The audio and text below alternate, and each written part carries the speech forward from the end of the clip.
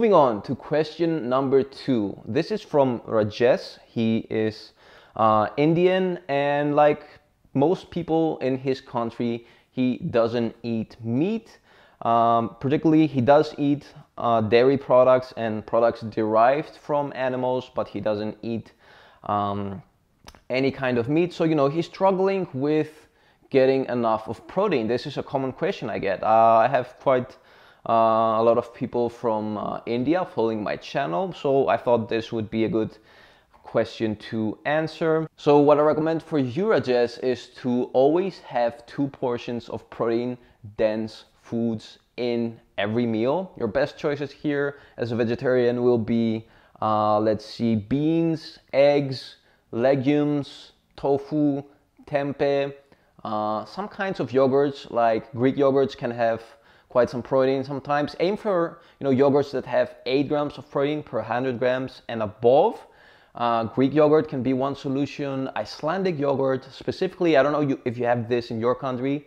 Uh, a brand called Skyr is one I eat a lot that has 11 grams of protein per 100 grams. Pretty badass for a yogurt.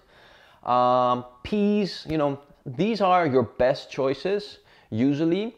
After that, I recommend that you also get a variety of uh, grains in your diet. So, you know, try to mix the things up. Uh, oatmeal, millet, uh, another good choice, quinoa, uh, and of course, you know, all the typical things, rice as well is not bad. Um, you know, try to mix all your grains and your carb sources because combining these with um, you know, all, all, kinds of different legumes, uh, lentils as well. I didn't mention them before. It's a good choice.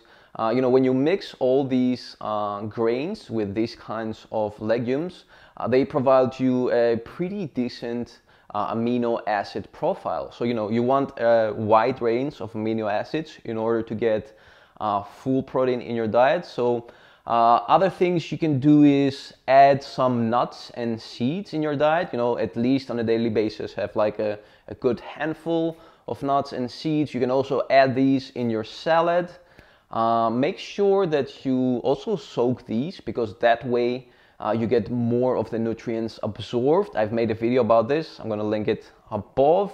Uh, other things you can do is, you know, protein supplements. There are a lot of vegetarian protein supplements nowadays. You know, these can be made out of hemp, out of rice, out of peas. So as long as you follow these three basic rules, number one, include at least two portions of protein dense foods with every meal. Number two, include seeds and nuts in your daily diet, either as a snack or you can combine them with your salad. Make sure that you soak them at least uh, six to eight hours in water every day to get the best nutritional value out of them. And as long as you also supplement your diet with at least a scoop of vegetarian protein, you'll be okay. Extra tip, also eat a lot of eggs, you know.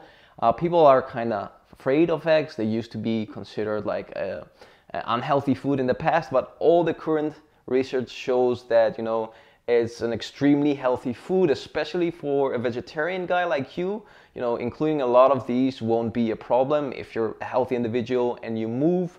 Um, I used to have like up to six eggs per day when I used to do some vegetarian diets. So, you know, also keep that in mind. So that was all for today. I'll try to answer at least one nutritional and one workout question per week on my Wednesday Q&As.